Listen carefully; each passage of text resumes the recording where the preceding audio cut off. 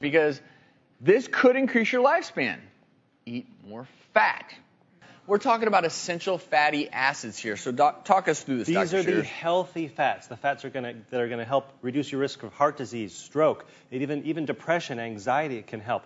These are the good fats, the fats stored in fish and nuts. And you know, if, a lot of people kind of wonder, you know, how how much of these essential fatty acids am I supposed to take? Generally, about a thousand milligrams, or about one gram a day. But let's talk, Cynthia, really quickly about good ways to incorporate these good fats into our diet. Yeah, definitely. So here we have some nuts. Nuts, you want to look at having about three ounces per week. Now, not a lot of people know ounces, so an easy way to measure that is just to use the palm of your hand. So one small handful is about one ounce. Okay.